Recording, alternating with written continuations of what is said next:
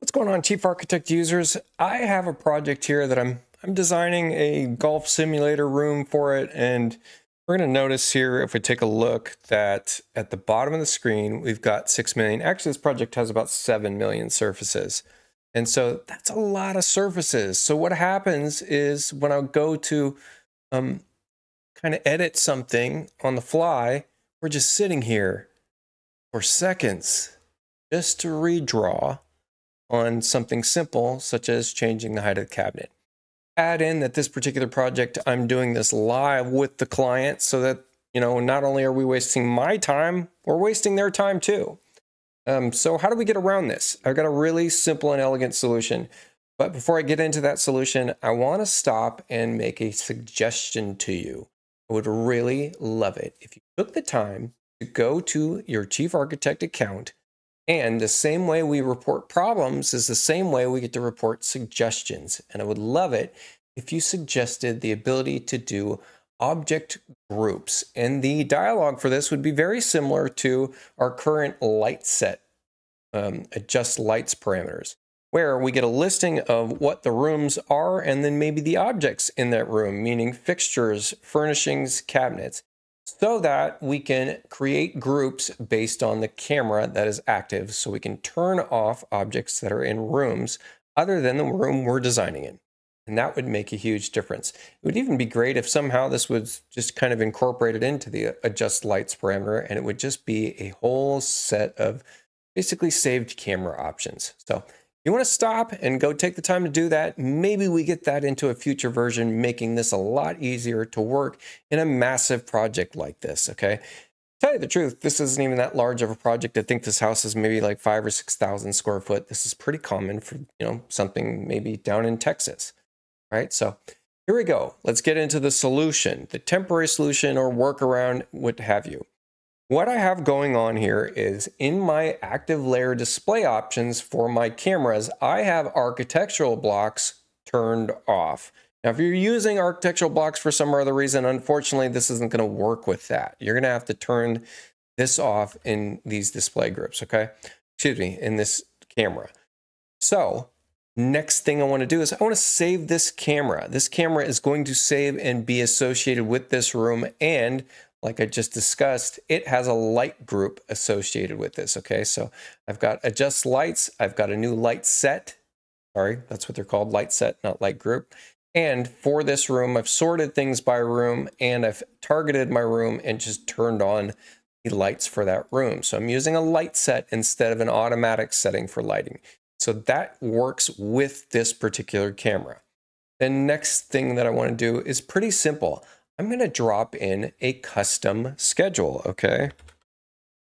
And so here we go, drop in a custom schedule. Now let's open up this schedule and we're going to do some very specific things. Right off the bat, we're just going to include objects from all floors. That's fine. I want to include the major things that can be grouped in an architectural block, okay? And also will limit the amount of surface count that we've got. So I've got cabinet here, fixture, and furnishings. All right, so furniture. Now I want to uncheck include objects from all floors and I want to target the room that I'm working in. Here's my golf simulator room. So I'm going to uncheck that. I do not want to include objects from that room because those are the objects I want to keep displayed. The point of this is we're targeting objects that are not in that room so that we can group them as an architectural block. The next thing, and I mean, you could stop there if you just get where I'm going with this, but there's a few tricks that I'm going to still mention a little bit later. The next thing I want to get into is I can just remove everything from the columns to include on the columns row panel, okay, except for maybe quantity, all right? And let's press OK. What this does is it groups things by a singular um, category. And that makes it so that we can target this. Now, keep in mind, right now I have the schedule selected. But if I click on this 228 number, now I have the row selected. And so when I have the schedule selected, this is what my edit toolbar looks like. When I have the row selected, this is what my edit toolbar looks like. And we get this little guy right here, find object in plan. Now, once I do that, it's going to zoom out and it's going to show us all of these objects and they will have been selected. Isn't that pretty cool? Keep in mind, even though everything is selected, we are not getting the ability to make an architectural block. And why is that? Well, it might be that there's already an architectural block in here. What it's saying is something in our schedule that we've got in these parameters is not capable of becoming an architectural block. So let's go back in and just make sure that we've got everything set up the right way. So in the general panel, I've got cabinet. Oh, look what I did. I accidentally clicked electrical, which would let you know electrical can't be blocked in electrical, I mean, excuse me, in an architectural block. So let's try it one more time. I've unchecked that. And now when I select on the row, find objects in plan, what happens? We still have a problem because we're still not getting the make architectural block tool. So what's a way around this? Well, I'm going to do something very simple. I'm going to look at this. I have an architectural block here. That's actually what was causing the issue. But I'm going to show you how to get around that issue. Let's just say, for instance, that this was an architectural block and we couldn't find it. We couldn't see it. We didn't know where it was in plan. What we can do is take two other objects, make an architectural block, and then use the select mar marquee select similar and then marquee select all similar, okay?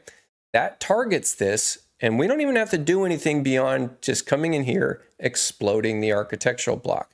Now, this is ensuring that nothing is an architectural block that lives in our schedule. Let's target this one more time, find objects in plan, and here it is, make architectural block. That's awesome. So we did that for this floor. I'm gonna copy paste this schedule down a floor. We're going to open it up. We're going to say we want to include all items from floor one, select all rooms. We can leave everything the way we've got it, okay? And it might be that there's an architectural block here as well. We'll find out very shortly by selecting this. Let's do that find object in plan. And sure enough, something is an architectural block. So we know we can do that trick again, right? Select two things, make an architectural block out of them, select marquee similar, select all similar, unblock, and then let's go back to that schedule and do our trick. One more thing, we can shift select this schedule to make this really easy on ourselves and hit this resizing node. And this just makes it even easier to work from, right? is we can keep this on the screen. And this is going to be for our design phase only. So I get to select this, find object in plan, make that architectural block. And what do we get to do? Let's go back to my camera that does not display architectural blocks. And you're going to see that this tries to rebuild the scene. And let's go take a look in the status bar as this rebuilds. And we have gone down to 1.2 million surfaces from 7 million surfaces. How does that affect our scene's redraw time? Let's go ahead and punch in four inches and then do a little resize on this and see how much faster this works. That's a lot faster for me. Shaved maybe a second off of that redraw of time, which is significant when we're talking about editing multiple things all the time. And also not only that, but my camera is just updating a lot faster now. Less of a resource hog. Let's try something else. Let's just try painting this object. Let's see how fast maybe that works. And let me even try to click on my object eyedropper tool. And I'm going to see if I can't get the uh, molding off of this.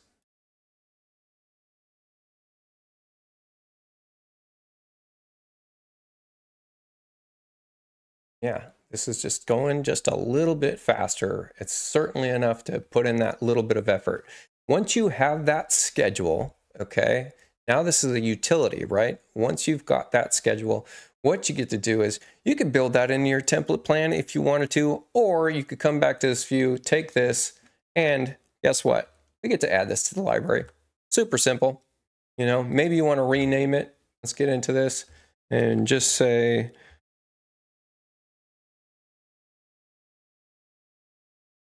block creator. Why not? There we go. This is a really simple solution for this. So I hope that helped you out. Um, you know, drop a like, please. I'm always looking for the best solutions to some of these things. So there you go.